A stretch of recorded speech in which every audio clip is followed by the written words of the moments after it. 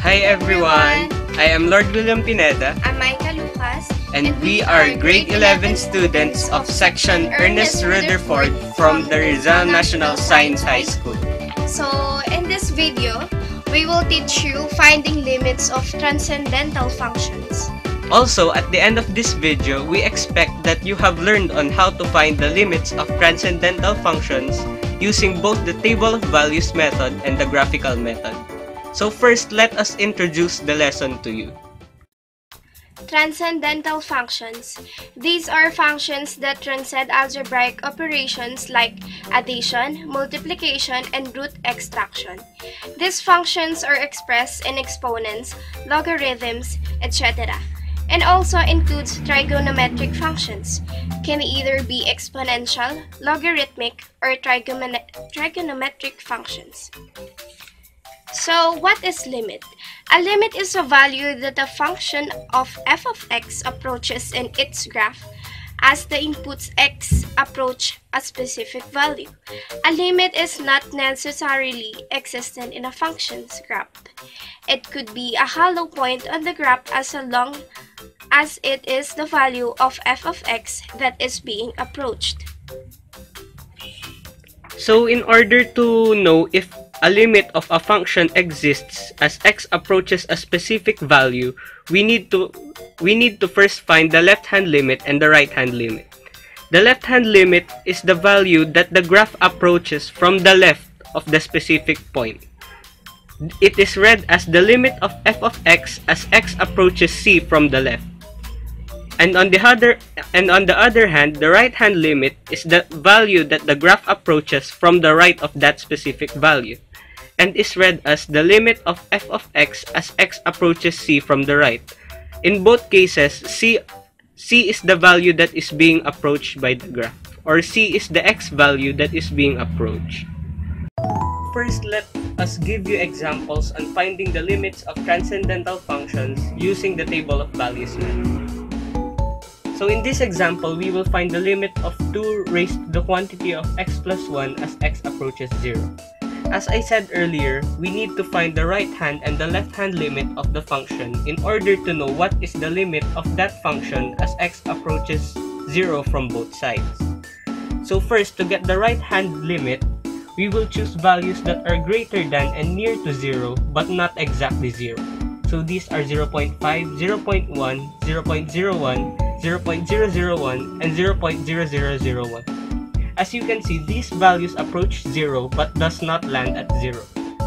So we will see which value the, the y approaches or which value that the output value approaches. So we need to substitute each input value to the to the specific function. So for 0.5, we get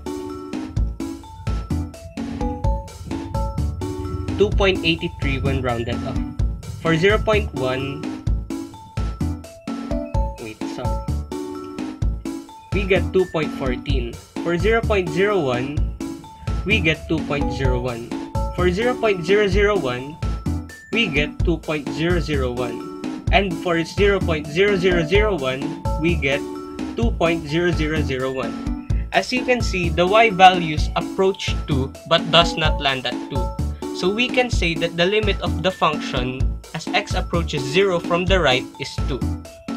Now, for the left-hand limit, it's just the same process but we choose the x values that are less than 0 and near to 0 but not exactly 0. So these are negative 0.5, negative 0.1, negative 0.01, negative 0.001, and negative 0.0001. So we substitute all of these values to the function. So for negative 0.5,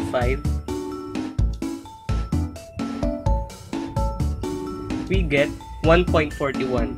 For negative 0.1, we get 1.87. For negative 0.01, we get 1.99. For negative 0.001, we get 1.999. Or, yeah, 1.999. And for negative 0.0001, we get 1.9999. So as we can see, the y values also approach 2 from the left. And we can say that the left-hand limit of the function as x approaches 0 from the left is 2. And since both the right-hand limit and the left-hand limit of the function is equal, we can safely say that the limit of 2 raised to the quantity of x plus 1 as x approaches 0 from both sides is equal to 2. In this example, we will find the limits of transcendental functions using graphical method. So the example is the limit of logarithm of quantity of x minus 1 to the base 2 as x approaches 1 using graph. As you can see in the graph, at the left side, there is no graph. So, the limit of the function of f of x as x approaches 1 from the left is does not exist. So, at the right side, you can see that the graph is gets smaller and smaller or more and more negative. So, the limit of the f of x as x approaches 1 from the right is equal to negative infinity.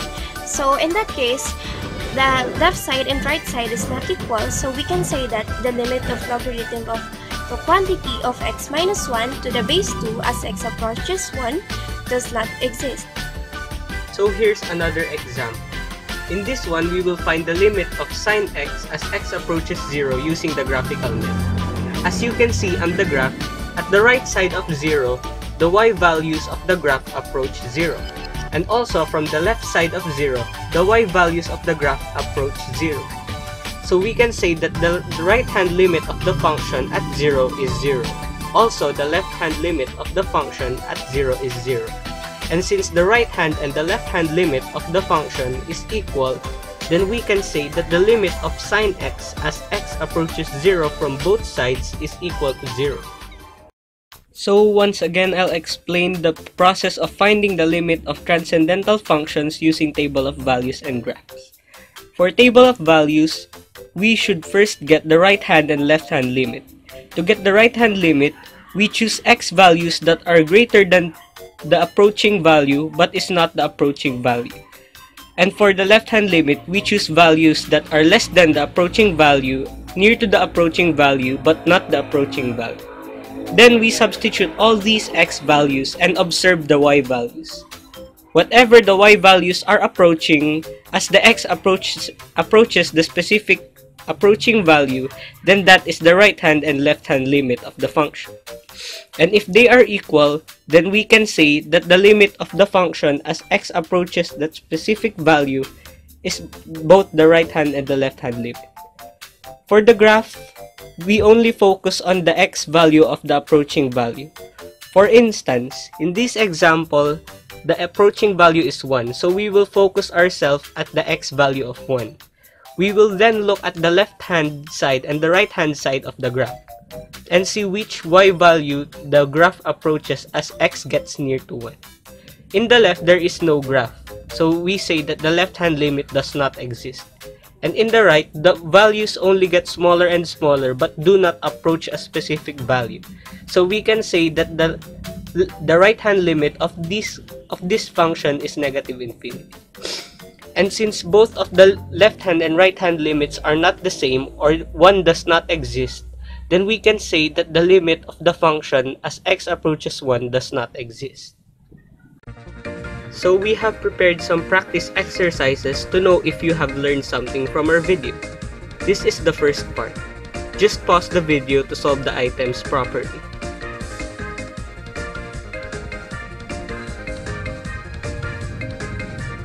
And this is the second part for the graphical method. At the next 5 seconds, we will reveal the answer key for the practice exercises, so just pause the video.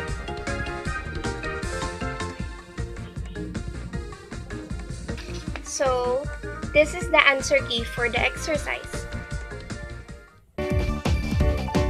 We will end our tutorial video here. We hope that you have learned something from us guys. Once again, I am Lord William Pineda. I'm Micah Lucas. Signing off. Bye!